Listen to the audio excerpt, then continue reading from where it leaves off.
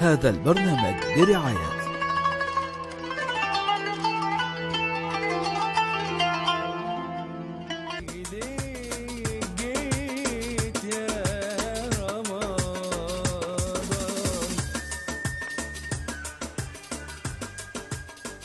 برحب بحضراتكم مشاهدينا من جديد.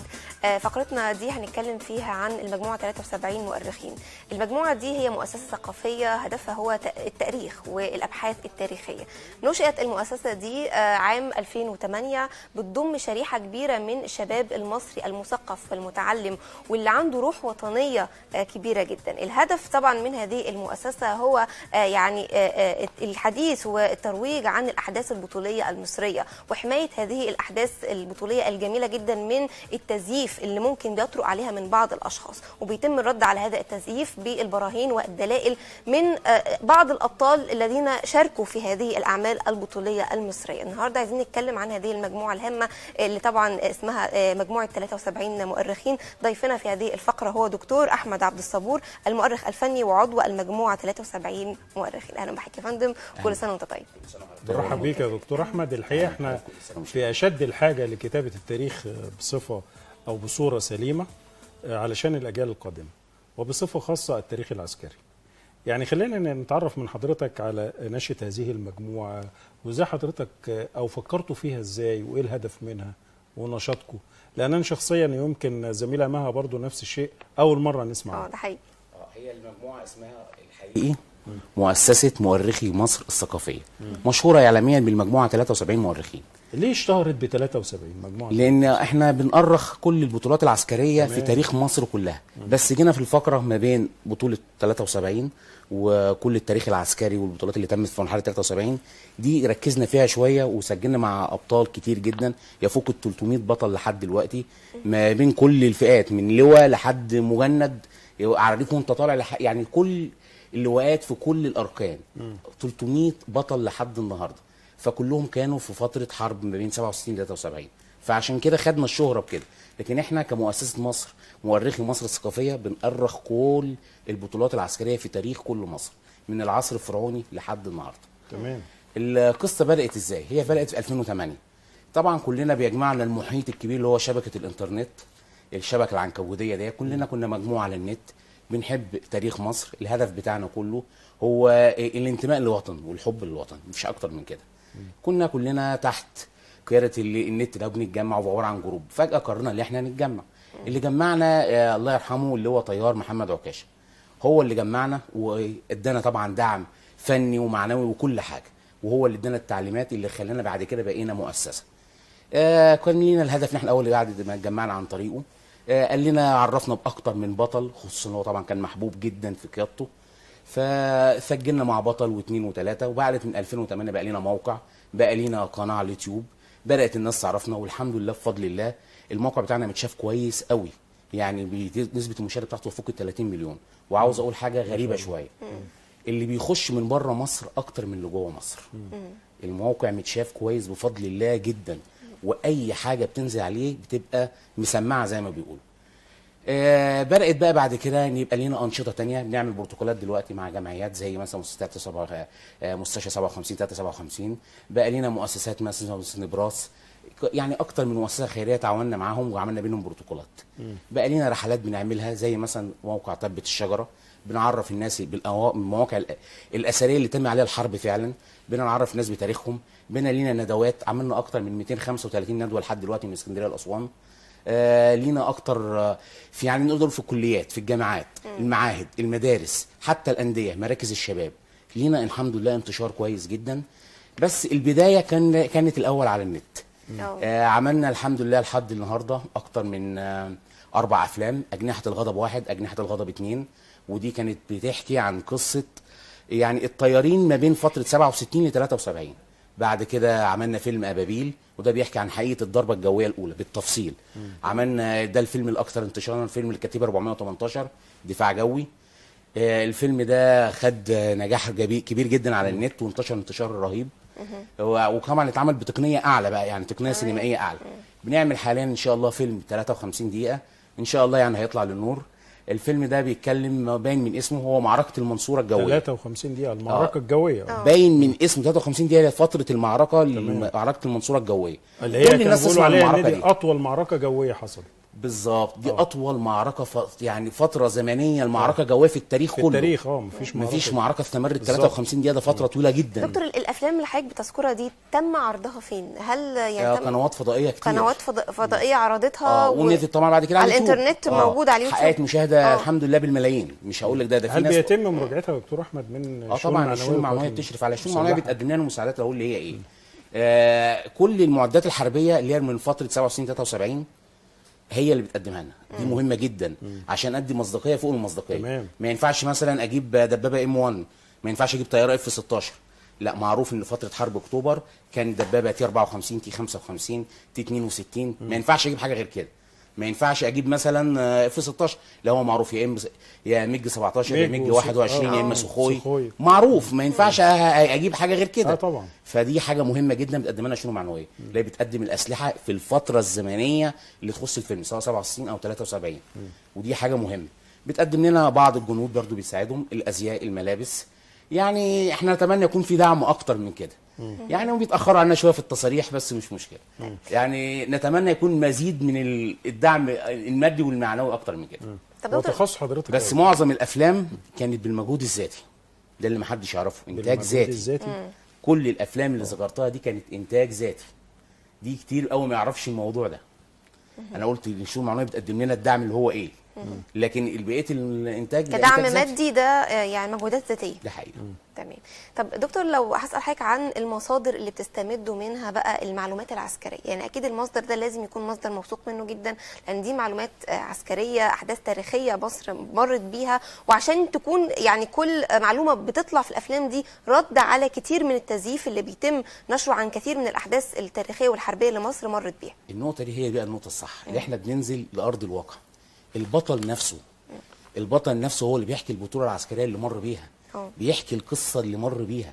مش بنجيب بقى زي ما في ناس معتمد على الجرايد بس في مقالات. مثلاً أو- مقال ما آه. ينفعش. على فيلم تم. أنا مع احترامي لكل الأفلام السينمائية اللي اتعملت عن حرب أكتوبر. ما قدمتش الشكل المطلوب والمرجو منه. كل الأفلام اللي تمت حتى بالأبطال يقول لك يعني أقصى فيلم فيهم ما يقول لك ده عمل 70% من اللي حصل. لا إحنا عاوزين أفلام تعبر عن اللي حصل فعلا في حرب أكتوبر. ما تجيبهاليش كلها قصة حب. آه عارف إن لازم يكون فيها دراما وعارف إن يكون لازم يكون فيها مشاعر. اللي بيدخل المقاتل الجندي اللي بيدخل يحارب ده أنا عارف إن هو مش ماكينة مش آلة. إنسان ليه دم ليه مشاعر. كل ده أنا مؤمن بيه. ليه أب ليه أم ليه أبناء ليه آه زوجة ليه حبيبة مثليه كل ده أنا فاهمه. ليه حالة إنسانية ما قلناش حاجة. بس ما تجيبهاليش كده بس. لا بين لي اللي حصل بجد. بين لي المواقف اللي حصل بجد. كتير جدا ما يعرفوش ده. أنا عاوز أقول إن مثلا هيفرق إيه ما أنا قلت الناس كلها تعرف عن معركة المنصورة. فيلم 53 دقيقة مثلا اللي بيتعمل ده إيه يفرق إيه عن ما الناس عارفة القصة؟ لا إحنا بنجيب التفاصيل الدقيقة جدا اللي حصلت. قابلتوا مين في الفيلم ده بالذات يعني عشان توثقوا تقريبا كل؟ أبطال الطيارين لأن كان الله يرحمه اللي هو محمد عكاشة كان بقول لحضرتك محبوب جدا من قوات الجهاد الجوية. فكل الطيارين كانوا أصدقائه. تساهلوا معانا جدا. وفعلا هتلاقي معظم البدايات في التسجيلات من بداية اللي إحنا قلنا سجلنا أكتر مع 300 أكتر من 300 بطل. هتلاقيهم ثلثهم كلهم كانوا طيارين.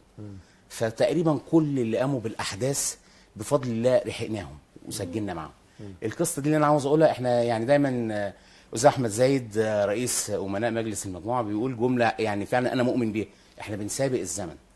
حضرتك إحنا دلوقتي في الذكرى ال 45 طبعا في العاشر من رمضان فلسه ما بقالوش كام يوم فاحنا دلوقتي في الذكرى ال 45 لحرب أكتوبر. يعني احسب حضرتك كده 45 سنة. لو قلنا سنه من 20 ل 30 ل 35 يبقى البطل سنه قد إيه؟ فاحنا بنسابق الزمن. أنا مش عاوز أقول موقف كتير لحد يأسى ان بس ده حصلت مرة واثنين وعشرة. يبقى أنت متفق مع بطل هتروح تسجل معاه يوم مثلا كمان ثلاث أيام السبت مثلا. آه. سبحان الله نروح ما يتذكروا الله وربنا يتوفاه. فاحنا بنسابق الزمن انت عاوز القصة الحقيقية. وأكتر من تسجيل تم فعلا حاجات لم تذكر حتى يومنا هذا. لم تذكر في كتاب لم تذكر آه، في فيلم. آه، قصة بقى الكتاب والفيلم دي أنا برضو عاوز أتكلم فيه إحنا عملنا في كتاب اسمه النسور الذهبية. ليه قصة الفيلم؟ ليه قصة بدنا نتجه لقسم الميديا؟ إحنا عندنا أقسام على فكرة داخل المجموعة. قسم تسجيلات وكل أفراد المجموعة بيقعدوا مع البطل بيسجلوا وده بيبقى صوت. بعد كده في قسم تفريغات بفرغ اللي هو قاله عشان انشره للناس. تمام. طبعا بعد موافقه البطل يعني اللي هو قاله باخده بعرضه عليه بيشوفه بيصدق عليه وبينزل للناس. ليه بدأنا نتجه لموضوع الأفلام والميديا؟ عشان نكون صراحة مع بعض. انت حضرتك قلت جملة هي فعلا هدف المجموعة 73 مؤرخين وهو اللي إحنا بنصد التزييف المتعمد طبعا. وطمس الحقائق صحيح. والتزوير اللي بيحصل في التاريخ المصري. بس في مشكلة مواجهة الشباب إن الشاب ما عندوش قدرة إنه يقرأ. ما عندوش قدرة إن بتح... انت بت... أنت مش بتكتب مقال صحفي. أنت بتكتب قصة حياته منذ طفولته مر بالإعدادية دخل الفتوة كان رأيه فيها إيه؟ في ناس حضرت الفتوة أيام زمن الناصر. والكلام ده. لا الفتوة دي كانت حاجة آه زي كده التربية العسكرية كانت داخل ال... آه بعد كده الكلية. بنشوف. حالته النفسية كانت إيه في أيام 67 بعد كده المشاعر إيه حصلت له بعد 73 ده بيبقى أشبه بكتيب عن قصة حياته. مين عنده القدرة من الشباب النهارده اللي هو يقرأ ده؟ ده لو حاجة أكتر من 10 صور على الفيسبوك وكل التواصل الاجتماعي مش مش هيقراها إحنا بقينا في عصر السرعة بقى خلاص ما بقاش عندهم اللي وقت بيوصل الشباب للناس خالص. هو الميديا زي الإعلام صحيح. دلوقتي اللي بيوصل للناس هو الميديا. هو الحاجة اللي بتخليه عاوز يشوف ده وبيعلق في ذهنه كويس قوي. فالأفلام والكليبات الصغيرة اللي إحنا بنعملها دلوقتي بنعمل حاجة اسمها سلسلة الوعي. سلسلة الوعي دي بناخد كل بطل. بعد ما كنا كتبنا لهم اللي هو أهم الحاجات المؤثرة قوي. في التاريخ بقينا نعيد معاهم تاني التسجيل بس صوت وصورة. وننتجها ونوصلها بصورة معينة. إن شاء الله هتنزل في خلال يعني بعد العيد. دي سلسلة إحنا سجلنا منها بتاع حوالي 15 حلقة وهنكمل دي هتبقى سلسلة كبيرة إن شاء الله. آه. المادة الإعلامية دي هي اللي, اللي بتوصل للناس. في فيديو محقق نسبة مشاهدة تفوق ال 30 أو 35 مليون. على موقع إسرائيلي آه، الطيار المصري المجنون Egyptian pilot crazy وكلام بقى كتير وده وقتلوه بيحكي قصة. كل اليوتيوب ده مشهور قوي. مقطع الفيديو اليوتيوب ده مشهور قوي. سيادة اللواء حسن الرافعي لسه عايش لحد النهارده مش زي ما بقول هو مات. ودي كانت بداية فكرة اللي إحنا نعمل سلسلة الوعي. آه. أنتوا بت... الفيديو ده محقق نسبة مشاهدة كبيرة جدا وكل الناس مقتنعة بيه. دايما بيحطوا السم في العسل عشان تاخده وانت مش حاسس بيه. بيمجد في التيار المصري لكن في الآخر هو قدر إنه يقتله. وده ما حصلش. سياده اللواء حسن الرافع عايش صاحب المقطع. المشهور دوت. فدي كانت بداية الفكرة إحنا كانت أول حلقة بدأنا بيه هو. ال... بالرد على الفيديو دوت اللي حقق شهرة رهيبة واترجم بست لغات. منهم العبري طبعا في إنجليزي فرنسي أسباني يعني يعني انتشر انتشار مش ممكن. طب دكتور حضرتك شايف إن تحديدا في ال- في الفترة اللي إحنا بنعيشها دلوقتي وتحديات كتير قوي مصر بتواجهها من الخارج مهم قوي إن إحنا نفكر الشباب الأيام دي بكل البطولات اللي عاشها آبائهم وأجدادهم والحروب لازم. ال- والمعارك المشرفة جدا اللي مصر مرت بيها على مر الزمن. لازم. آه الشاعر آه سيمندوس قال في بعد حرب طروادة قصة سبارتا وطروادة آه. وهو كان شاعر يوناني. قال هزمناهم ليس حين غزوناهم. ولكن حين أنسيناهم تاريخهم وحضارتهم. آه. وده اللي هم بيعملوه. اللي إحنا بيحصل دلوقتي في أحد الضباط الإسرائيليين قال لضابط مصر وهو بيسلمه وتبادل الاسرى قال له جيل حرب أكتوبر هيموت وهينتهي. مش هيعيش. إحنا هنعمل لكم خط بريف داخل القاهرة. الخط بريف اللي بيقصده ده هو يقصد الغزو الفكري اللي ملأ الشباب. اللي أنا هل حضراتكم تعلموا إن إسرائيل بيوم حرب أكتوبر 6 أكتوبر بت- بتحتفل بانتصاراتها؟ الجيل اللي قاعد هناك بقاله 45 سنة يظن إن هم اللي انتصروا؟ هل أحد يعلم المعلومة دي؟ ما هو تزييف للحقائق. لا ما إحنا تزييف عارفين الكلام. للحقائق. آه بالظبط. أنا دلوقتي لما أجي أبص ألاقي فيلم مش هقول بقى يعني مش هذكر الكلمة بس أنا بص أنا هختار فيلم زي رامبو. بطولة وهمية وليس لها أي حاجة. يعني ملهاش أي وجود في الدنيا. والشباب طالع متأثر بيه.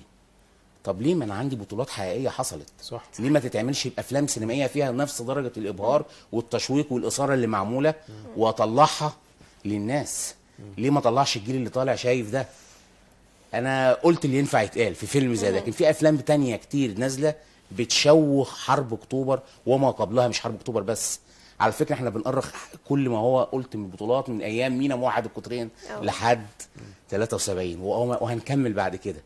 بس ليه في تزييف كتير جدا متعمد لتزييف وطمس حقائق كتير جدا وتشويه معمد متعمد. طب احكي لنا على أبرز حاجة لفتت نظرك في, في هذا الموضوع يا دكتور أحمد. في أكتر من بقول لحضرتك إن هم لحد النهارده بيحتفلوا بانتصارات أكتوبر في إسرائيل. ها، في إيه أكتر من كده؟ في أكتر من إن هم بيقولوا لحد النهارده إن كل ما حدث ده هو حدث بالصدفة إن دي أصلا انتصار مش كامل. وللأسف إن في ناس كتبت في ده إن ده انتصار ناقص إن دي حاجة مش حقيقية. في بدون ذكر اسم الصحفية بتقول فنكوش حرب أكتوبر. كلمة ما- ما عجبتني يعني ما تعجبش أي حد. طبعا. طبعا. وكلنا عارفين طبعا هي مين. طب ليه؟ طب ليه؟ ليه ما نذكرش الحقيقة كما هي؟ مش هقول بقى حد ممول أو مش ممول بس هو يعني ما أظنش إن حد هيعمل كده من احكي لنا عن تاريخك للمعركة الجوية يعني أرختها إزاي؟ لا هي مجموعة من الأبطال الحقيقيين جايبين الكلام ده من بقهم مش من عندنا إحنا. زائد كمان الجرايد المقابلة في إسرائيل أو في الطرف الآخر في جرايد إنجليزية جرايد أمريكية كتبت عن الأحداث. فيديوهات حقيقية قدرنا نتحصل عليها من عندنا ومن عندهم. زائد إن البطل نفسه بيحكي اللي حصل. بطل واحد. واثنين وثلاثة. وده أهم حاجة انت نزلت للميدان نفسه. نزلت لميدان المعركة نفسه نزلت للحدث نفسه نزلت الشارع نفسه. إيه أهم الحكايات بقى اللي أنت سمعتها ولفتت نظرك؟ لا دي بقى تشوفوها إن شاء الله في فيلم 53 يعني ما دقيقة تدينا وأنا يعني واثق إن الفيلم في ده هينال إعجابكم. زي ما الأفلام. القادمه بدأت إعجابكم.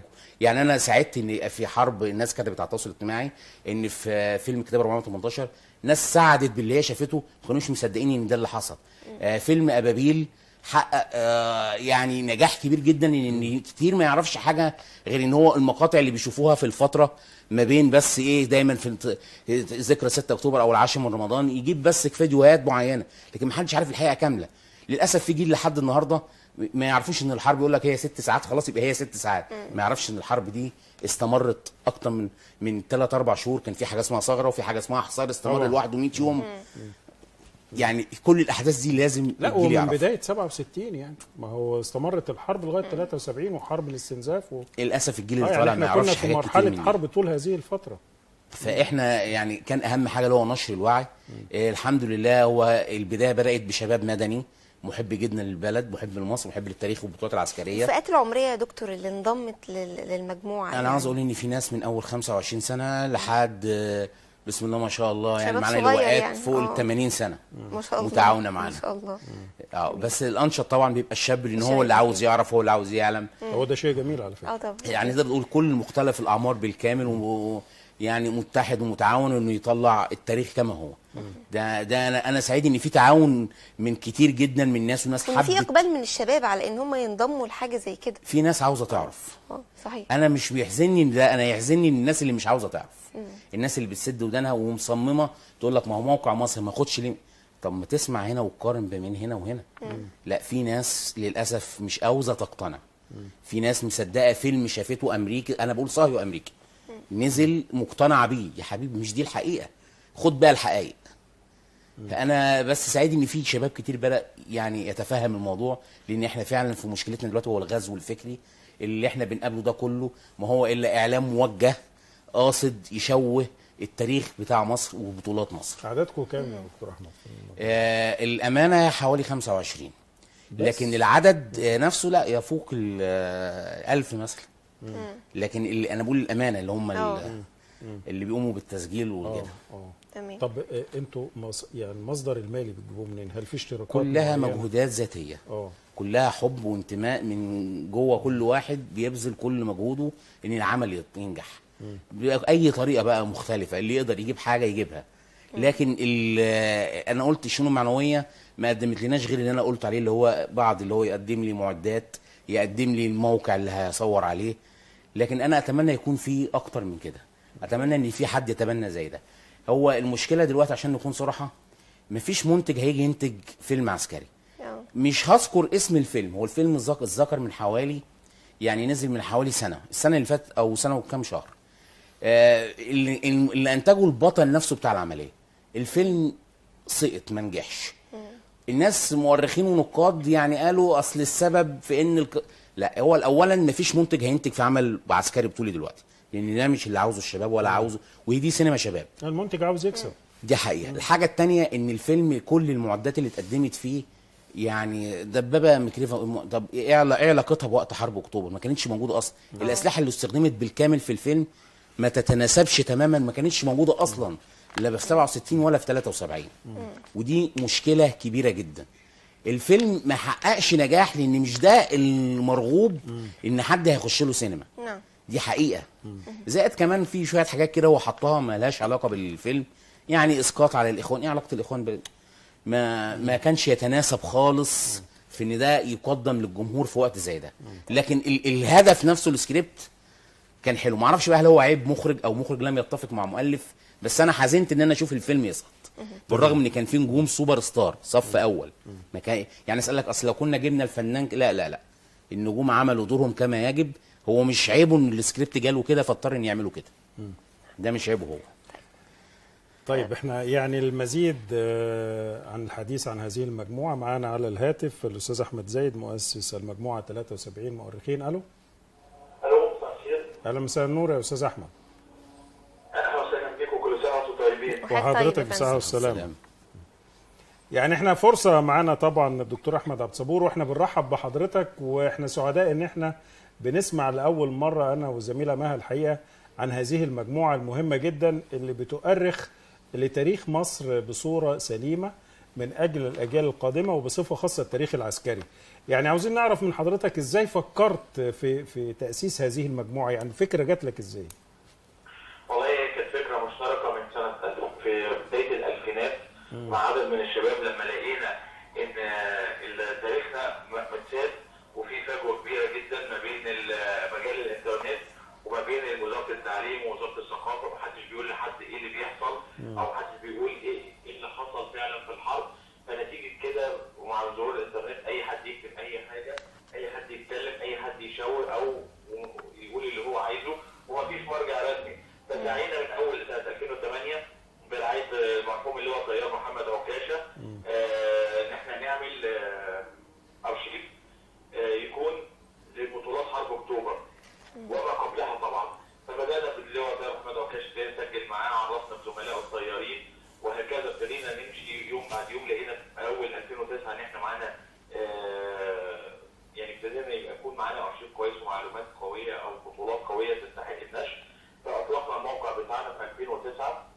آه، اللي هو الحمد لله وصل لغايه دلوقتي آه، آه، 26 مليون زياره من 111 دوله وده رقم يعتبر كبير جدا طبعاً. مقارنة بالمحتوى اللي إحنا بنعرضه إحنا لا بنقدم آه، حاجات فاني ولا أخبار كوره ولا أخبار فنانين علشان يبقى آه، عليه آه، اقبال كبير إحنا بنقدم محتوى جاد ومعلومات تاريخيه ومعلومات موثقه فالرقم اللي هو 26 مليون ده يعتبر رقم كبير مقارنه بالمحتوى بتاعه الحمد لله إحنا من 2008 لغايه النهارده عملنا 236 ندوه عملنا آه، أربع افلام بجهودنا الذاتيه وكان لينا شرف ان إحنا نعملها بالجهود الذاتيه علشان نبين للناس ان إحنا لو عايزين نعمل حاجة هنعملها وان مجال السينما الحربيه موجود ومتاح والقوات المسلحه بت- بتدعمه وبتساعده قررنا الفريق آه، طراس على فيلم الكتيبه 418 دفاع جوي وعملنا قبليهم ثلاث افلام عن القوات الجويه وقررنا الفريق يونس المصري قائد القوات الجويه الافلام دي كلها موجوده على اليوتيوب مجانا للناس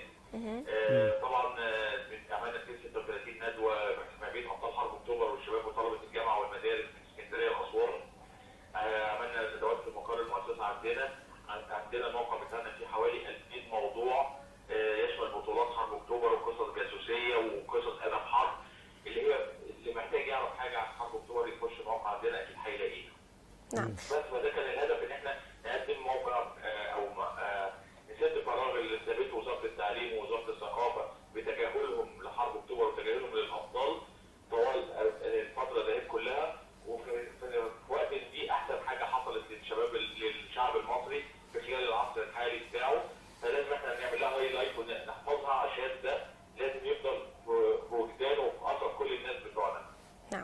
أستاذ احمد إحنا بنحيي حضرتك طبعا وبنحيي كل الأعضاء المنضمين لمجموعه 73 مؤرخين على هذه الفكرة الجميلة جدا اللي من خلالها بتقدموا وبتعملوا صحوة تاريخية للشباب ولعقول الشباب. يعني مصر مرت بحروب كتيرة جدا آه، يعني بنتشرف كلنا بيها ولازم الشباب يكونوا عارفين ده لازم يكون عندهم وعي آه، تاريخي طبعا وحربي كبير جدا. بشكر حضرتك جزيلا على مداخلتك معنا دكتور نرجع لحضرتك آه، من جديد وخليني أسأل حضرتك برضو عن فكرة يعني إن أنتم مثلا تروجوا الأفلام دي في بعض المراكز الثقافية من يتم ترجمة هذه الأفلام كنوع من التبادل الثقافي بين مصر وبين كثير من الدول. يعني ليه مثلا ما فكرتوش تعرضوا الأفلام دي في مركز ثقافي مثلا الفرنسي الإيطالي حصل يعني كتير. آه. يعني ده بيتم بيتم حصل أكتر آه. من مرة. وبيتم مترجمة؟ مترجمة للغات الأخرى؟ عاوز أروح تترجم لعبري كمان. آه. طب جميل. وتشاف بقول لحضرتك الأفلام بتتشاف من بره مصر أكتر من جوه مصر. لسه أستاذ أحمد زايد قايلها أهو. بتتشاف بنسبة عالية جدا من أكتر من 112 دولة. آه. يا أنا بس اللي نفسي بقى مش هو ده. آه. ليه مثلا إحنا كان عندنا في المدارس مادة التربية القومية؟ ليه ما نحطش مناهج دراسية بنتكلم فيها عن أبطال حرب أكتوبر ما هو أنا أنا كنت لسه هسأل حضرتك برضه الأستاذ أحمد زايد تطرق لوزارة الثقافة ووزارة التربية والتعليم ليه ما يبقاش في دعم ليكوا من الوزارتين دول بالذات يعني بصرف النظر لا ده برضه السؤال ده إحنا اللي نسأله حضرتك لا ما إحنا اللي إحنا يعني. إحنا بنسأله إحنا بنطرحه مع حضرتك من على خلال. الشاشة، آه. لأن ده عرضنا مهم. أكتر من مرة هل أنتوا طلبتوا ده إحنا حتى حتى لو مش؟ دعوه مادي عاوزين دعوه معنوي لا لا ومادي يا فندم إيه المانع ما حصلش إيه المانع ما يا. فندم ما هو في ياما يعني معلش يعني مصاريف وفلوس بتتصرف من الوزارات وبدون داعي ومش عاوزين نتكلم أنا يعني مش المانع عاوز أبالغ وأقول لحضرتك اللي. إحنا يعني أستاذ احمد زاد قال جملة عجبتني في مرة اللي إحنا بنقوم بدور هيئات المفروض هي اللي تقوم بيه بالظبط هيئات. حكومية هي اللي ما أنا علشان. كده الدور بتاعكم ده دور أساسي ورئيسي لوزارة الثقافة وزارة التربية والتعليم هل أنتوا مثلا آه، آه، يعني فكرتوا تقابلوا مثلا وزير الثقافة وزير حصل يا فندم؟ بدل مرة اثنين وثلاثه آه. طب الرد دعم؟ الرد كان إزاي؟ خدنا موافقة بعرض فيلم 418 واتعرض في اصول ثقافة واتعرض في مراكز واتعرض في شباب أنا عاوز دعم أندية. منهم. أنا عاوز دعم من الوزارتين ما حصلش. أنا بقول لحضرتك طلبتوا. دعم؟ طبعا ما فيش ما حصلش. ما كانش في حصلش. استجابة يعني. أنا قلت لحضرتك أقصى دعم إحنا خدناه هو إيه؟ ما حصلش. كل اللي بيحصل عبارة عن مجهودات ذاتية. زي على ما قال لك فكره على لو- فكرة يعني اللي إحنا بنسمعه ده بصراحة يعني مش عاوزين بقى نتكلم في نقد لأن إحنا يعني في في في, في الخيمة الرمضانية يعني عاوزين الموضوعات كده تكون آه، خفيفة. يعني خفيفة. آه شوية. لكن آه، اللي إحنا بنسمعه معلش يعني ما ينفعش. وزارة الثقافة وما هو في فلوس بتتصرف ويعني بيتم بيها تدعيم كلام فاضي وأفلام و وحاجات ما يعني مش عاوزين نتكلم يعني. هو مجموعة بتتكلم عن تاريخ يعني- مصر. وعاوز تعمل للشباب والمستقبل. علشان الجيل اللي طالع يعرف تاريخه الحقيقي إيه؟ هو ده المهم. فين وزارة الثقافة؟ فين وزارة التربية والتعليم؟ صحيح صحيح. طيب دكتور كلمنا عن فيلم أجنحة الغضب. بيدور أحداث الفيلم عن إيه؟ آه، فيلم أجنحة هل الغضب تم بي- انتهاء منه؟ آه وعرضه؟ آه، ده ده اتعرض آه، خلاص خلاص. ده من الافلام اتعرض كان إحنا عملنا أجنحة الغضب واحد واثنين هو جزئين. آه. ده بيتكلم عن الطيارين ما من 67 ل 73 تمام. وفيلم أبابيل بيتكلم عن حقيقة الضربة الجوية الأولى بالتفصيل الممل. آه. يعني بنشرحه واحدة واحدة. مش زي الأفلام كلها خدته في لمح البصر. آه. لا إحنا خدناه بالتفصيل. آه فيلم الكتابه 418 ده دفاع جوي. احكي لنا جزء من التفصيل ده. آه آه. لا يعني هو بحيث حتى عايزين المشاهد نتخيل مع كأنه حضرتك كأنه ال- بيشوف يعني هو الفيلم. معروض على النت مجانا اللي عاوز يشوفه بس أنا سعيد إن في حد ما هو لما. تحكي جزء هيبقى آه. فيه تشوق إن الناس تدخل على ال آه.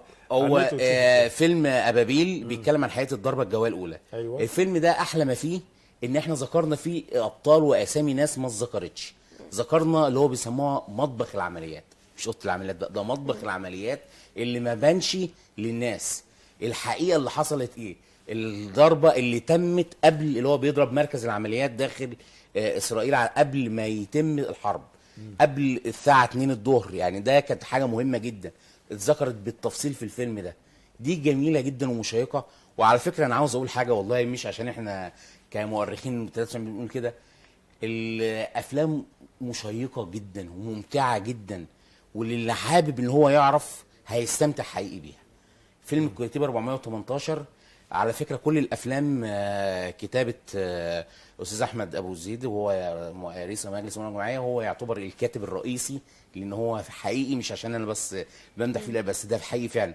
هو حد موهوب قوي وعنده حب للوطن قوي فقادر يطلع ده بصورة جميلة بسكريبت جميل يتعمل فيلم بيعبر عن الواقع. دي أهم أهم حاجة حضرتك أنت قلتها إيه الدافع؟ الدافع هو حب الوطن. أنت حابب الشيء. في فرق إن أنا أبقى موظف بأدي دوري وبين ان أنا حابب الشيء فبتفانى في اللي أنا بعمله. فهيطلع باين جدا حبي للشيء. دي أهم حاجة. آه بالنسبة بقى للأفلام أنا بطالب الناس هي تخش تتفرج عليها. اللي ما شافهاش يشوفها. لكن حقيقي هي فعلا أفلام ممتعة ومشيقة جدا. هل في عقبات قابلتكم عشان تقابلوا بعض كتير القادة؟ كتير كتير. يعني زي إيه؟ بتحصل مشاكل كتير. آه. مفيش حاجة أو بتخلو بعض القادة. مثلا يعني حب إن هم ما يتكلموش معاكم. آه، يعرفوا على. أساس إن بتحصل بصراحة، بس أنا أسرار مثلا هتكلم فيها فيها. يعني مثلا إحنا لاحظنا وكنا كنت أنا بتكلم فيها مع أستاذ حسن خليل وده هو ماسك رئيس قسم التسجيلات عندنا اللي إحنا سجلنا مع أبطال مثلا طيارين. آه، كنا مع بحرية. مع ما ما سجلناش مع حد من الغواصات. فروحنا سجلنا معاهم. لأنه بيبقوا نادين شوية. يعني اتنين ما بيتكلموش وكلامهم بيبقى بالقطارة. ويخايف منك ليه مش عارف أو مش عاوز يقول المعلومة كاملة. آه. المخابرات الحربية والغواصات. طبعا حضرتك عارف إن الغواصات من ضمن القوانين اللي كان في أثناء الحرب والمعاهدات إن اتنين ما كانوش بيتسلموا من الاسرى لا الجواسيس ولا الغواصات. فبيعامل معاملة المخابرات برضه. مش عاوز يتكلم. كلامه قليل جدا. لازم أنت اللي تعرفه اللي أنت عارف الواقعه يعني أنا أفتكر بأحد الأبطال كان أستاذ حسن فبيقول له يعني حضرتك مش عاوز تتكلم ليه؟ دي مذكورة في كتاب البحث عن الذات. فمبصص كده جبنا له الكتاب وورينا السطور. إيه ده؟ دي مذكورة. فبدا يتكلم. برضه بيتكلم بالقطع مش قادر يتكلم. فليه مش عارف؟ حتى هو يقول لك أنا لو قاعد حتى جوه شؤون المعلومة مش هتكلم. في ناس آه، حاطة في ذهنها إن أنا لحد النهارده بأدي رسالة وأنا حالف بالقسم ومش هقول ولا بس ده كلمة. شيء جميل برضه. ما هو ده شيء جميل يعني ليه؟ شيء جميل بصراحة. اللي هو الحق وشيء جميل ليه؟ بس لينا إحنا عاوزين ناخد المعلومة كاملة. مش عاوز يقولها. بس في الآخر بننجح إن هو ناخد منه المعلومة. يعني بعض في الآخر بننجح. دي أهم صحيح. حاجة. آه، صحيح. يمكن بيبقى معتقد إن بعض هذه المعلومات ممكن تفيد آه في بيحصل بقى مواقف تانية الآخر. إن في يعني دي أنا بسميها مواقف إنسانية. طبعا إحنا قلت لحضرتك من شوية إن الإنسان لحم ودم في مشاعر. آه طبعا. وهو بيحكي مثلا رفيقه يعني طبعا أنت عارف إن في أثناء الحرب بيحفر حاجة اسمها حفرة برميلية زي الخندق كده بيقعد فيها. آه، بيتحامى صديقه ورفيقه أثناء الحرب. فجت ش- شاء القدر الطلقة أو شظيه أو ايا كان قنبلة خدت زميله ده. آه. ففي واحد أنا أتذكر في التسجيل معاه انهار. يعني هو بيحكي على صديقه اللي توفى جنبه ده. افتكر الموقف. افتكر لحظة كأنه إنه- عايشها. ب- كأنه عاش اللحظة فعلا. تاني، آه. والله أنا أتذكر التسجيل التسجيل ده قعد تسع ساعات متصل. والله ما قمنا من على الكراسي. تسع ساعات مفيش بريك مفيش راحة. تسع ساعات بيحكي قصة حياته. جه في الحتة دي انهار. ليه؟ قال ده أنا ما شفتش في حياتي صديق مخلص زيه. إحنا قعدنا مع بعض من أيام 67 مع فجه في اللقطة دي بدون ذكر الاسم اللي هو اللي عمل كده. طبعا وقتها ما كانش لواء كان وقتها ملازم صغير. بس تنه كمل لما لحد ما بقى لواء اركان حرب. آه، الموقف ده أنا أنا واحد من الناس أثر فيا. اكاد أقسم بالله إني نمت حلمت بيه. من من التأثير. مش عارف أوصف لك المشاعر الإنسانية. أنا عاوز أقول إن كل قصة بطل تتعمل فيلم كامل. كل قصة بطل تتعمل سل- سلسلة كتب. مش مجرد بس آه، قصص الناس فاكراها هتلاقيها بس مط- لا لا دي كل بطل منهم يتعمل حكاية يتعمل فيلم كامل.